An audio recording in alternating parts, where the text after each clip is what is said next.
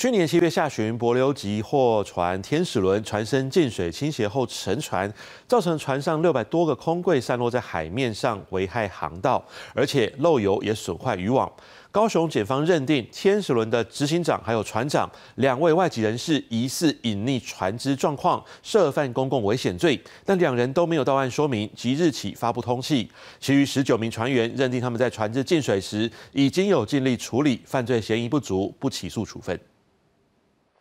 层层叠叠的空货柜都在海上打捞而来，停放在南新计划区以及高雄港务公司所属的场域。去年七月下旬，柏流级货柜船天使轮船身进水倾斜沉船，空货柜漂流在高雄外海，危害航道漏油，也造成临近渔船损害。船头遐个靠八卡八卡线呀，诶，伫可能伫伫咱的运搬的航道后。高雄地检署在一号侦查终结，天使轮从大连港出海，隔天货舱就进水，中途又更换船长、船员，新接手船长无法阻止沉船发生，认定原船长以及天使轮的执行长涉嫌隐匿船只状况，恐涉犯公共危险罪，但两人没到案，决定发布通缉，出估至少通缉二十七年。为就部分案情仍需待两名被告到案说明时，能进一步厘清。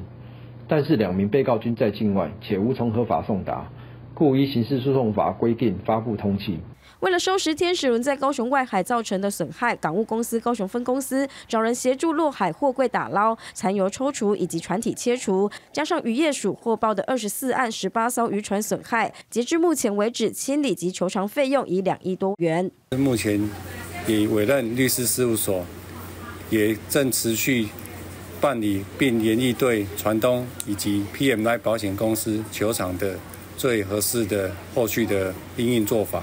两名外籍人士遭通气，是否面临求偿无门的状况？高雄港务分公司回应，已委任律师做求偿，等后续结果出炉再另行评估。记者王婷许正俊高雄报道。